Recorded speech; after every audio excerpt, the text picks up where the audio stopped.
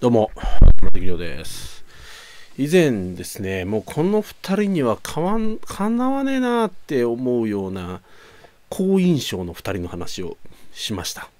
外ことの差し出さんとオープン A の馬場さん。この2人のどちらかに呼ばれればもう僕は喜びさんであのどこへでも行って、えー一緒に話がしたいっていう2人なんですがあ好印象っていいよなって思ったで自分にはそれがないなと思ったそんな話をしました、えーまあ、その話をしていてまたちょっと思い出した気づきがあったので今日はそっちの話をしたいと思いますでもこれはとっても恥ずかしい僕にとってはめっちゃ恥ずかしい話なんですけどあのまあ、なんていうのかな、まあ、プリプリ怒ってる時があるんですよ。怒ってること自体がもう人を寄せ付けないんですけど、プリプリ怒ってることがあったんです。それは何なのかというとですね、僕と接している時の態度と、それから偉い人と接する時の態度が全然違う人っていうのがいるわけですね。僕と喋る時僕の相手をしてる時はなんだかムスッとしてたりとかですねなんかこうぶっきらぼうだったりですよ対応が。うんなんかこのいまいちなわけです。いまいちなんだけどそういう人なのかなと思ってたら偉い人っと喋ってる時はその人はめちゃくちゃ明るくてですねすごい丁寧で、めっちゃ笑顔。なんなんやこの人はと。人によって態度変えんなやとか思ってもこういう人が僕は一番嫌いだなんて思っていたわけです。で間違ってんですけどねこれはね基本的には間違ってんですけどこういう人が一番嫌いだと思って俺はそうなるものかと反面教師にしてやろうと思って僕は態度変えないぞ態度変えないぞと思ってあの本当に普通に接する友達でもそれから同年代の人でも先輩でもとても偉い人でもそれがとてもとても偉い人や有名人だったとしても僕はもう関係ない。関係なく同じ対応するというふうに心がけてきたつもりです。だから多分偉い人たちから見ると僕は、うん若干こう若干どころじゃないかな。あまりこう礼儀が正しくないしですね。生意気な人間のように映ったでしょうね。あ同じ年の人たちと同じように「あーなんとかさんあのさ」みたいな感じで接してるわけですから「い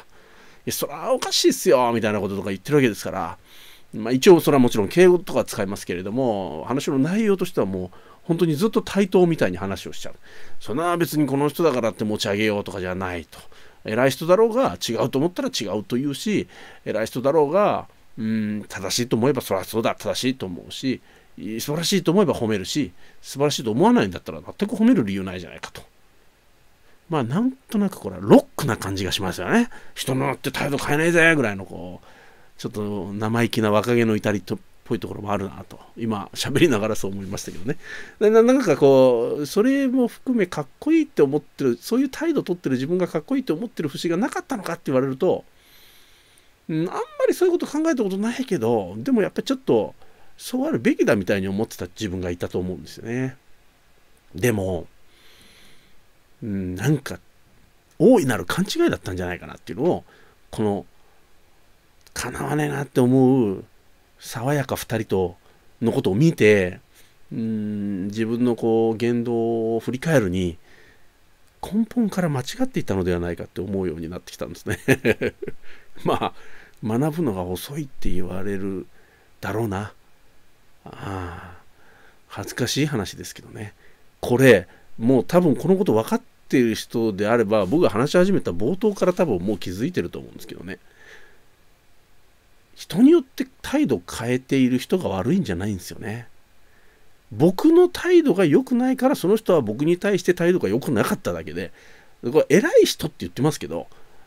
要するに偉い偉くなれる人ってのは基本的には多分ねいいコミュニケーション取れていた人なんだと思うんですよ。結果偉くなっちゃってるわけです。だからその僕の例えば知り合いでこの野郎って思っていた人はですねあの偉いからこの人といいコミュニケーション取ってたんじゃないだろうと思うんですよ。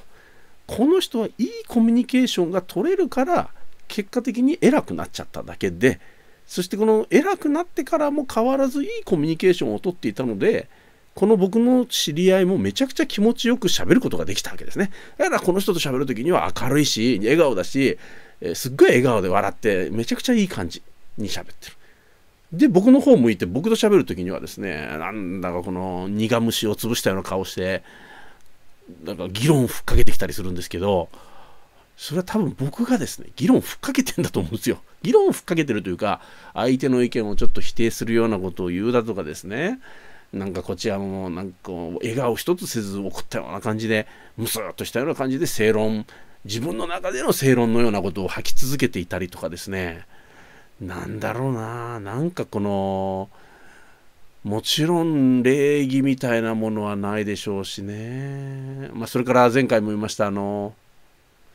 悪口と自慢話これも出ますからね。この男からは。この男からはもうそれ出てくるからもう聞いてる方は気持ちはよくはないわけですよ。偉い人はそんなこと言いませんよ、きっと。だから偉くなってるわけですから。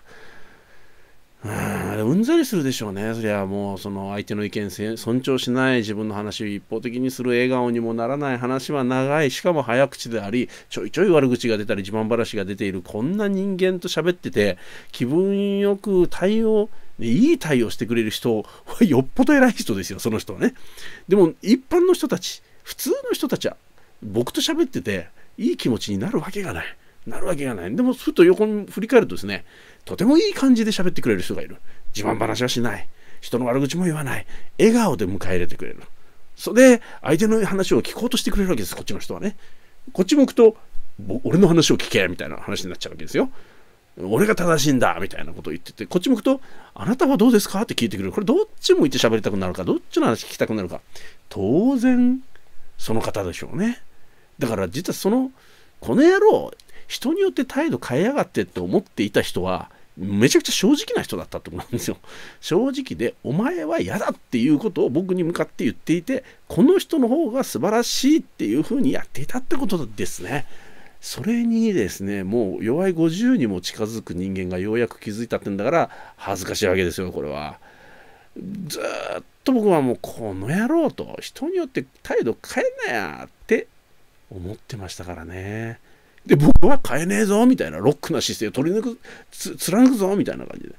俺は人によって態度変えないからねって言って、まんべんなく失礼だったんだと思いますよね。結果的には。もう態度変えないわけですから。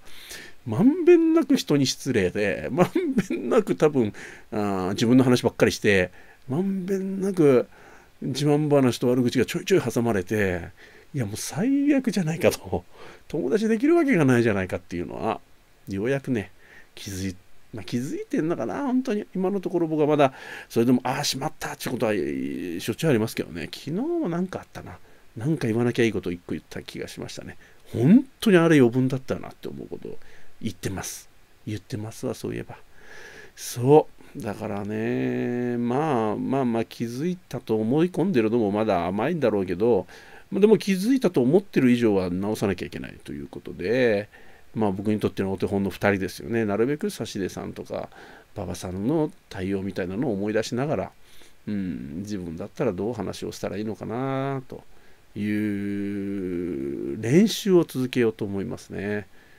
だからあの YouTube でこれ喋ってるやつでも悪口とか自慢話とか出てきたらコメント欄に書いてくださいねおい出てるぞと今回のここの部分出てたぞっていうふうに書き込んでください。それは相当勉強になります。で、あの、お前の話ばっかりしてんじゃないかって、これはもうしょうがないです。YouTube なので、YouTube の番、このね、チャンネルですんで、喋ってないと、それはもうここれアップする意味ないんで、お前の話ばっかり喋ってる早口である。これはもうちょっと勘弁してください。あの大体10分から15分ぐらいに収めたいなと思ってるので、なんか喋りたいことをずっとこう早く喋っちゃいます。これだって、まあ、ひょっとしたらね、もっとゆっくりゆったりと喋るっていうことができた方がいいんだろうとは思うんですけど、なんかまあ、これはちょっともう勘弁していただかなきゃいけない。ただ、実際ね、あの対面で会った時にはこれじゃダメでしょうね。こうじゃないような喋り方とか、こうじゃないようなあ話の速度とかですね、それがいるような気はしますが。笑顔がないとかですよ。まあでもこう YouTube 撮影しようと思うとやっぱり笑顔かな。ここはまだ、まだマシなんです。これでも。こんな鬼瓦みたいな顔しててもですね、これはまだマシなんです。実際ですね、この気抜いてると、こう、まあ、なんていうの、怒ってるわけじゃないんだけど、普通の顔してると怒ってるような顔になってますね。誰かに喋りかけてもらいたいと思うなら、怒ってるような顔じゃダメなわけだし、自分が怒ってるような顔してるって自覚してるなら、人と一緒にいるところに行く場合はやっぱりちゃんと社会的な顔にならなきゃいけないでしょうね多分ね。そういうその社会性のある顔に変えていかなきゃいけないとは思いますね。それがなんだかもう仏頂面で出ていくから誰も喋りかけたくないわけですしね。こっちから喋りかければなんかこいつを怒り始めるのかなとかね。なんか変な議論をふっかけてくるのかなって人は身構えますからね。うーん。これ変えていかなきゃなと思っております。ということで、まあ、うまくいくかどうか分かりませんがこれからちょっとずつそれをこう努力していこうかなというふうに思ってますので引き続きよろしくお付き合いいただければと思います。ありがとうございました。